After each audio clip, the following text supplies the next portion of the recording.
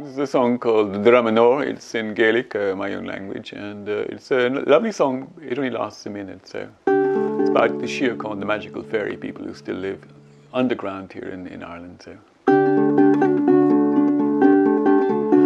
Tongui aniri scat fu hartim a dramanoi. ac insan hala Tevis jigta shiakhan an gulur Istan gak shandilug dalekri og ogan brin lolur a mid lachin lachin lachin is lalamu Agus e will, that's it.